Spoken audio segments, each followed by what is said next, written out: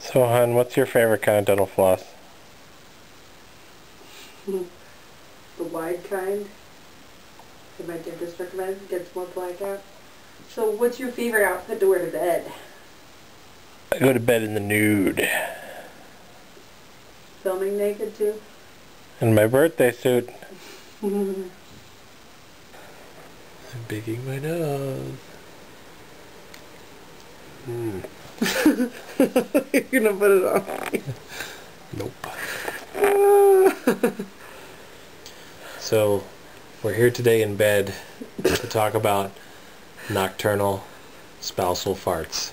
Oh my god. Kara, what do you do when your spouse farts at night? Um, hold the blankets down very tight so as not to let the smell out. And I, I try to let it out.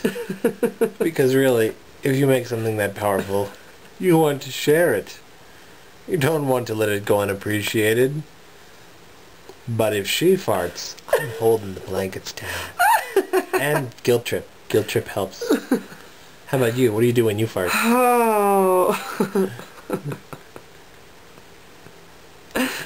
You're not putting this on YouTube. When I fart, I don't worry.